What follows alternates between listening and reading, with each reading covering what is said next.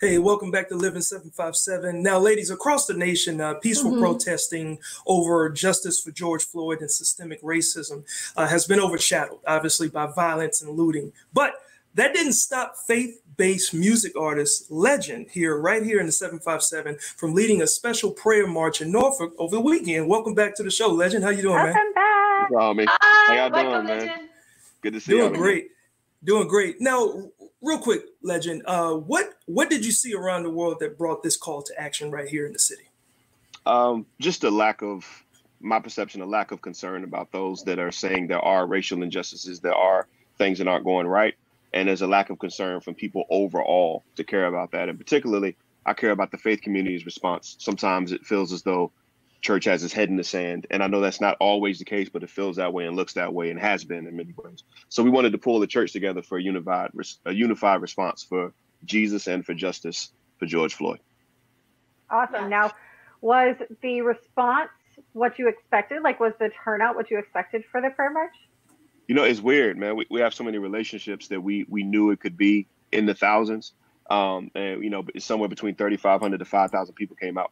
But um, when you see the crowd, it's like, holy crap, this is really happening. Like, so, so it was what we expected, but it, it blew us all away at the same time. Like, it still doesn't feel real, you know?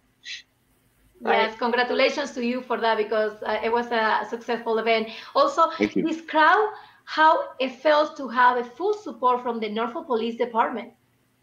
I mean, it felt great to have them there. Like it was good that they they weren't just there like policing the streets and like you know saying go this way, but they're marching with us.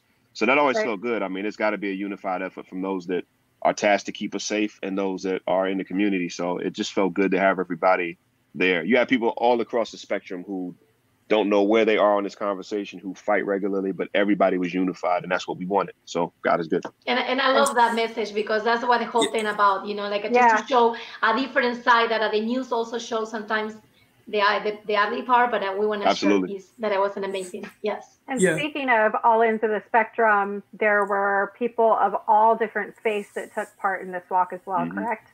Yeah, everybody was welcome. We uh, we oh, focused cool. the, the messaging to the church community and all its different facets, but you had people there who don't have anything to do with church that showed up, and everybody was just loving on everybody, and that's what we wanted. So it was good. Absolutely, and I know I was there firsthand to witness it. Um, and I brought my daughter, so uh, you know, me, my wife, and daughter, you know, and we saw families of all different colors and races mm-hmm. out there uh, holding up signs, and so that was just a good sign, I think, just for people overall, and and just being able to walk alongside police officers. I think that that just kind of put the icing on the cake, right, Patricia? Yes, yes, we love it. We love it. And thank you so much, LEGIN, for your time and for this amazing event that you guys put together. Thank you so much. Thanks for letting us be here. Appreciate you.